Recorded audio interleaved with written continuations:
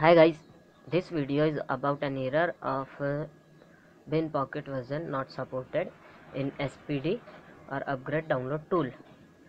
So let's see what exactly that error is.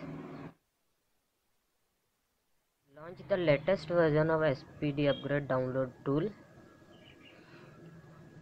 When we try to load the file i have an file which giving this error. Here it is micromax q383 file. So when you when we try to load this file it gives error bin pocket version not supported load bin pocket failed. So for this you just need to download the tool i am giving you in the description.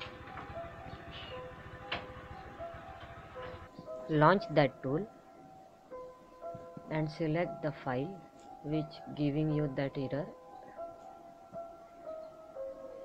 Micromax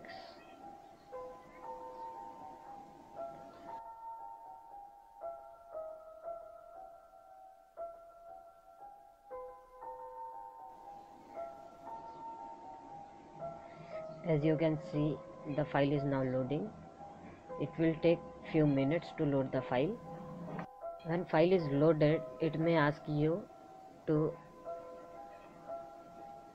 select hardware info image file so just click on hardware info img and select the hardware information img file from the firmware folder according to your device.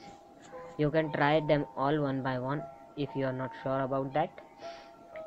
Now you can flash your device by connecting it while holding power down key.